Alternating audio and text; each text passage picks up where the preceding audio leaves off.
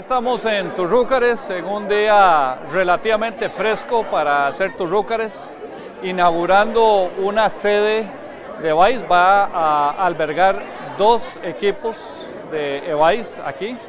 Este es un ejemplo del trabajo comunitario, una participación realmente de la comunidad.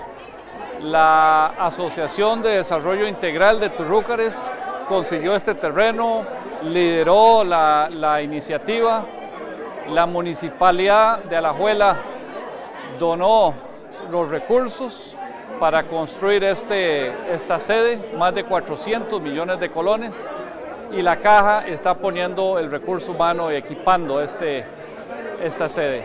Y como podemos ver, este es un evento muy alegre hoy en día.